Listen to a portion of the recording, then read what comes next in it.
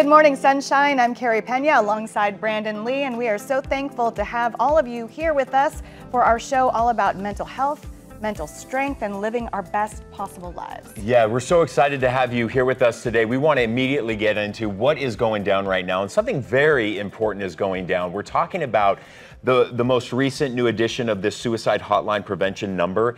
It is 988. It launched this summer, and you're going to be hearing a lot about it. A lot of advertising campaigns are going to be going on about it because post pandemic and even during the pandemic, we did see a lot of overdoses rise, but we also saw an increase of suicides. And so, um, what we're trying to do and what the whole message behind this is, is that you can actually pick up this phone number and really talk to people and counselors who are trained to help get you through that moment of crisis just long enough to give yourself a shot at going to therapy or going to help and, and seeking help so you don't end up taking your life. And we had uh, representatives from the health department here with us early on before this went public, right. talking about why this was so important. It's, it's akin to 911 um, but for mental health. And, and it's and important. Suicide. It's important for people in their darkest moments feel like there is somebody to talk to on the other end of a phone mm-hmm. who has compassion and empathy and can understand them and not shame them. So again, the number is 988. 988. Yep.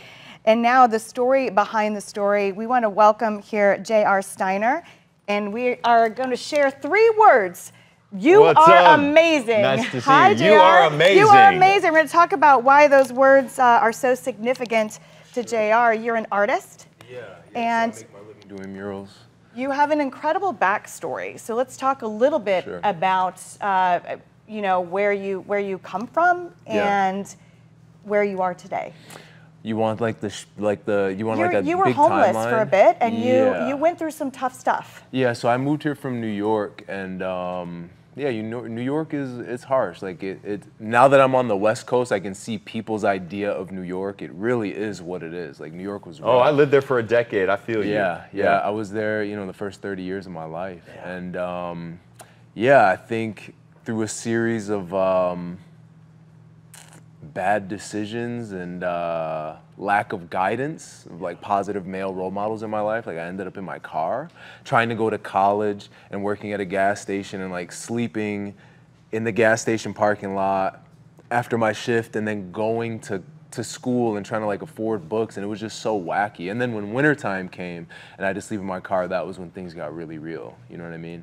And so i've done some work. I did some work um, recently with hsc and you know, did a massive like 50 foot by 20 foot mural in the middle of the home this homeless encampment that says "You are amazing" in, in, mm. in big in big letters. And the idea, is, I don't know what that will do for the people down there, but it's just funny how things are cyclical. You know what I mean? How I've gotten myself out of that position, and now I was able to donate, afford to donate a mural to a you know a, a, big area. I think it's Phoenix's biggest homeless encampment. You know what I would what I would say, gathering from that story, is that um, healed people heal people straight up, and the lived experience that you had, whatever trauma you faced as a young child, maybe not having that male figure yeah. to kind of help you lead you, right? That will make you go astray, and you did go astray. But I'm getting the sense that art has helped you heal in many senses has art helped you heal? It's it's again, it's all cyclical. So right. when I was younger, I was an artist, and everybody knew me knew me as an artist. Even my name Jayarr isn't real. Like my name's actually Alex, but I came up with this name and this yeah. idea this of persona. who I can be. Yeah, this yeah. idea. Like I want to be this cool guy. And then because I didn't have the guidance and didn't have the base, I never pursued it. Right. Then when I got healthy through yoga and mindfulness, moving away from New York to the West Coast where you can get kombucha on tap, you can get a Buddha bowl, you can get vegetables and healthy food and just the environment, just everything's so healthy out here. When I got healthy, then I tried art again and it worked immediately and in a big way. So you're right. It's it, it's all a cycle. So I got healthy and then my dreams came true. You know what I mean? And now you're helping those who were in your position Straight because up. they you can see them. Yes. They get you. You see them. You Yeah. have lived there. You get them, which I think is a beautiful gift. Can you talk a little bit more? I, I want to hear about those three words. You are amazing. Mm-hmm. Because it's significant to your brand and Yeah. why why that was so important to you personally. But Yeah. but first, Brandon and I love to hear about those moments and how you were able to turn the corner. So you talked about you know your your diet and mindfulness. Talk to the audience a little bit more about what specifically was so crucial for you in this journey. I had no guidance on how to eat. Like my my food was like McDonald's, cereal in the morning, and and just low vegetables because it's tough. I think you know for a single mom to manage all that. You know, so most of my life, I'm talking. So I'm 40 now, believe it or not. Um, most of my life, I'm talking like zero to 35 was pretty low nutrient dense food. And then I discovered yoga randomly at a park. Somebody invited me like, hey, you should come do yoga at a park. And then I realized that when you change your environment and change the people you hang around, that whatever they're doing is what you become. So I have I, I latched onto this group of people who are pursuing health, and then everything got fixed. My, it, I literally, I feel like my brain gained power, you know, because it wasn't full of the sugar from soda and ice cream and things like that. And so the last five years have been me not only fixing myself, but facilitating spaces where people can get that social, that really fun, exciting social aspect, but also get some healing. Well, we always say too that gut health is mental health. Yeah. Yes. And that's why when you go to like if you go to a drug addiction treatment center, you know that they really do educate you and they try to use all organic foods and they have private chefs because it is so crucial that when you're trying to work through whatever trauma you're working Yeah. through that it all really does begin in the gut and you can't have a healthy mind without a healthy gut. It's like when you when you put a a seed in soil, whatever nutrients are in the dirt are what that plant becomes. So and if how it's, good the fruit and vegetable will be. Exactly. Yeah. So if you're putting good nutrients and good materials in your body, then what you output, whether that be your effect on the world, your art, it, it, it has more vibrancy. Yeah. Talk to us about you are amazing. Sure. What Words of words- affirmation Yeah. is what that is. Straight What do they mean to you, and how are you sharing them with the public? Yeah, so um, I feel like my art is like secondary to the message. Like I, I, I, feel like it doesn't matter what I put behind it. If it says you are amazing over the top, people want to take pictures with it and they want to share it. So I had this idea that I wanted to have a message for people as they came into my house. Like just something really positive. So I just found a font online and put "You are amazing" in my carport, and the effect that it had on the people in the neighborhood and the people coming to do yoga was profound. So I did my first mural um, on the side of my house that said "You are amazing," and somebody from the city of Phoenix saw it, and then they hired me to do what is now still my most popular mural on Second and Adams, and um, that's just been the thing. And you know, I, I'm, I'm a servant to the universe, so the universe wants "You are amazing." People vote with their social media posts, mm. and people go crazy for those words, and it's something they want to hear. It's something they want to see as they're driving by, and it's something they want to photograph and share, which is potent. And I think what there's a beautiful thing that you're doing right now, really focusing on a nonprofit that's really not just about you specifically individually as an Yeah. artist, but the community as a whole Yeah. becoming an artist because I'm an artist as well. And I know what I see the magic in my art studio every single day. I see You- it every you know, day. I DM'd you like a year ago. Like when you so Oh, when you retired, when you retired from Uh-oh. the news station, Yeah. somebody was like, "You got to hit this guy up." You guys seem like you, you guys are both like, I don't Yeah. know. Are you over 40?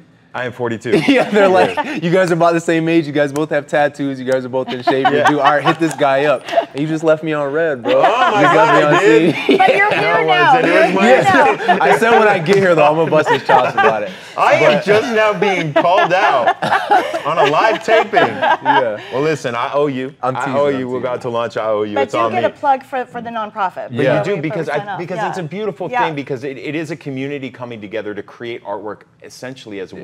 For the community to come together. Yeah. So the way it all started is I was already donating murals to schools and to be frank, to places where brown kids are at because I believe that BLM really opened my eyes Yeah. and COVID opened my eyes to like there are people who need support. Yes. That you don't you, we don't have to attribute a race to them. We just say there are people who need support. So I was donating murals for free just with my own money.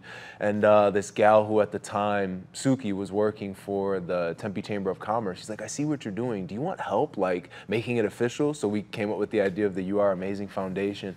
And it took us a year and a half to get nonprofit status, but it's real now.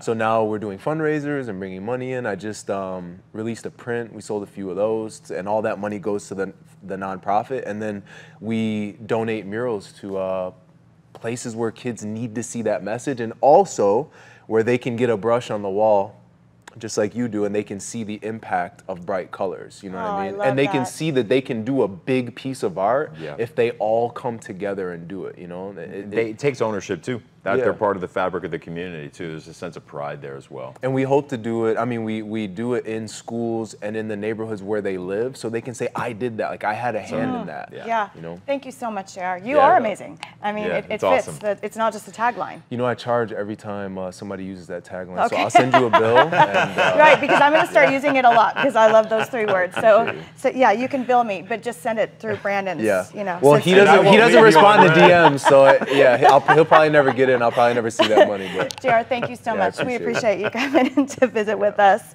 And now we want to share a clip from our Inspired Living segment with Zenobia Mertel. Uh, she interviewed an amazing photographer. Speaking of you are amazing, uh, Courtney Lively, and she talked to us about balancing motherhood, loss, grief, and staying inspired. Here's a look.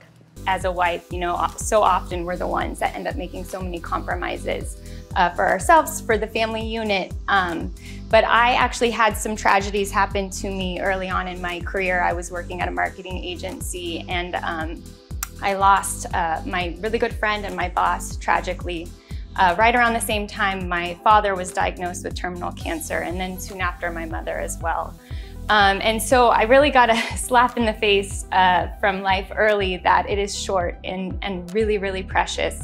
Um, and that was the time in my life where I said, oh my gosh, you know, if I have to spend so much of my life working, you know, because money is important, we have to take care of ourselves, we have to take care of our family, um, then I'm gonna do it doing things that I can feel passionate about and that can fuel my soul and, and feel good at the end of the day.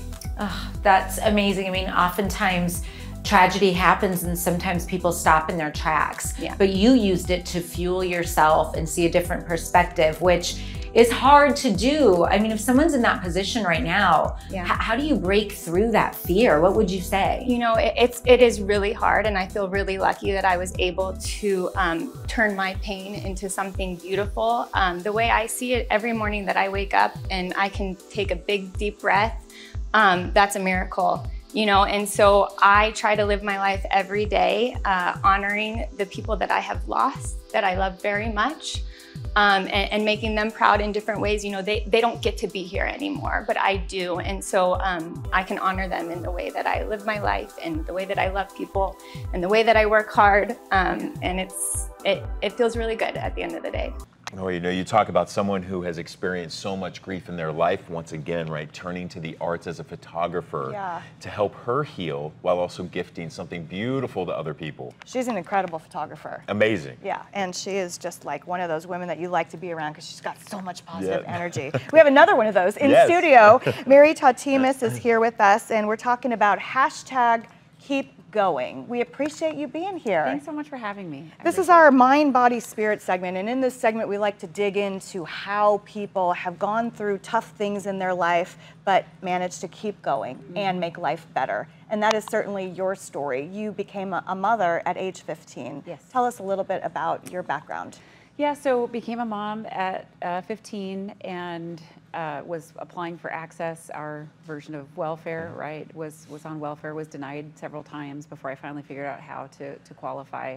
And my parents left it completely up to me to figure all of that out. They said, "You can live here, but we are not doing anything else. You, if you're old enough to be making these types of decisions and you're going to figure this out, which is probably the best gift that they could have ever given me. It seems really harsh, but it really instilled a lot of independence and resourcefulness.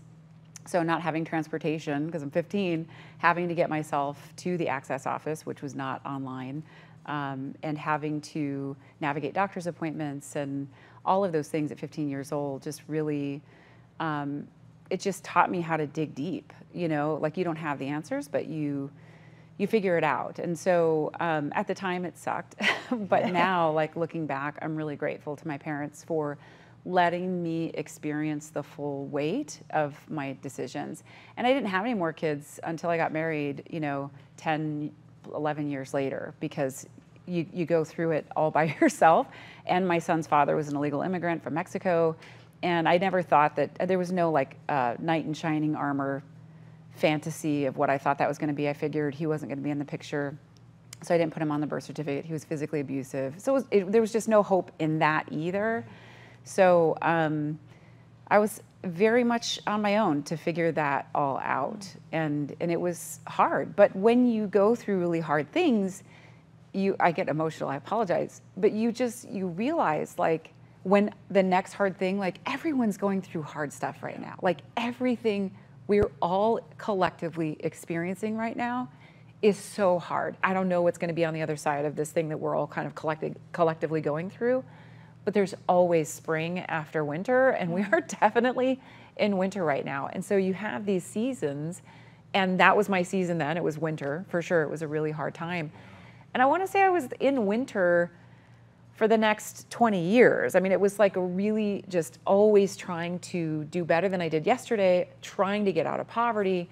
And then I started learning how to make more and more money. I started learning how to build my value in the world so that I could, you know, charge more and make more. And, and I always saw how so many other people had these really beautiful lives and relationships and health and wealth. And I'm like, why can't I? I think I should have that too. But I got to figure out how to get there. And so, my book, hashtag keep going, is just story after story of you know, you start to make it out and you're like, all right, things are going good. And then you just kind of get punched in the gut again. And you just, you have to figure it out because what's the alternative? Like to just stay there. So it's based on Winston Churchill's famous quote of, um, if you're going through hell, keep going.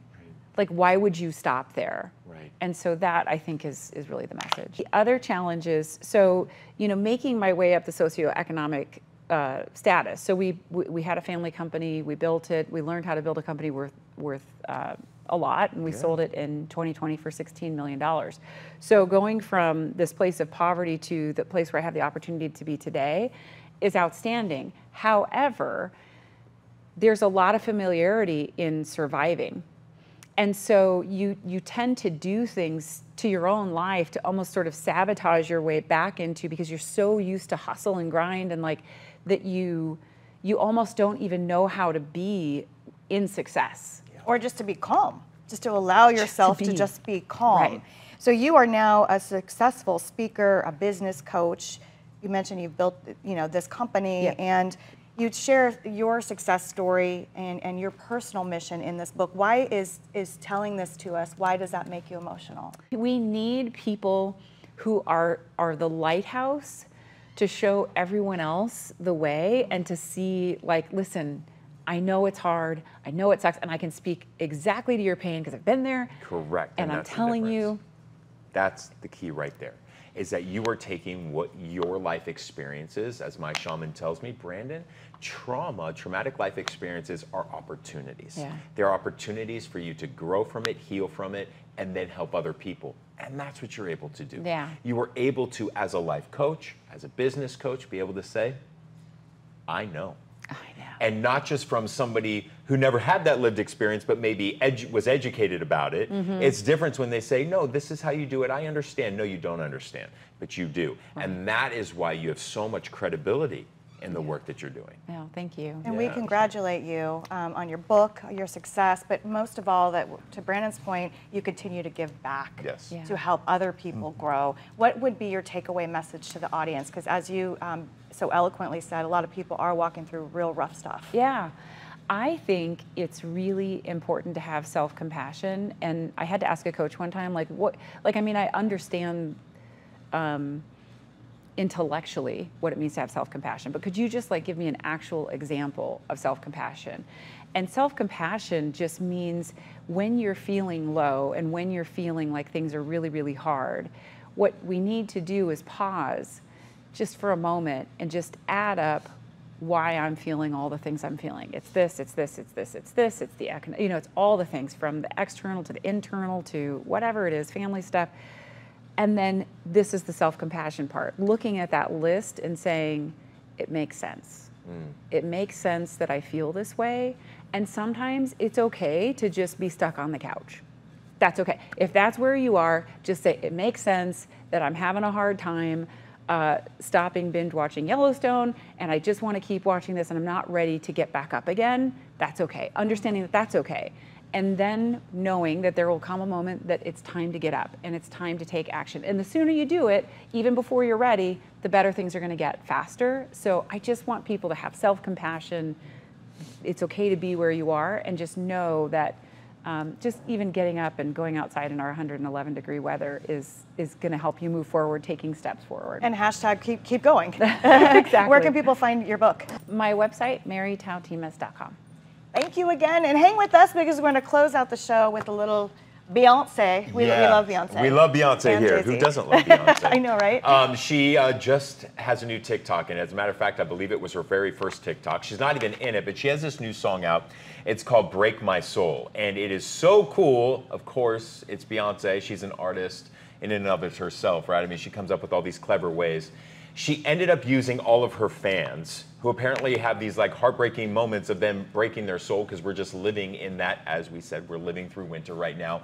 And Beyonce has some way, somehow, some way, collected all those videos from social media, created a music video for Break My Soul, and put it on TikTok. I mean, you know that you're the coolest person ever when you don't even have to appear in your own video. You're like, and her fans are like freaking out because then they're watching the music video and they're like, wait, that's me. That's Yeah. me in Beyonce's music video. And once again, Beyonce lifting the spirits up of, That's right. people. Uh, collectively Yeah. empowering people and just watching how people react to Yep, that. Love it. Seeing themselves in a Beyonce moment is so good. So thanks to all of you for being with us for our show, Good Morning Sunshine, all about mental health, mental strength, and lifting ourselves up. That's right. And you're obviously uh, streaming it right here on YouTube. Do us a favor. If you're watching this episode right now, go ahead, hit that little alarm bell signal. That will alert you every time we upload a new episode. We'll see you back here for the next edition of Good Morning Sunshine. Take care, everyone.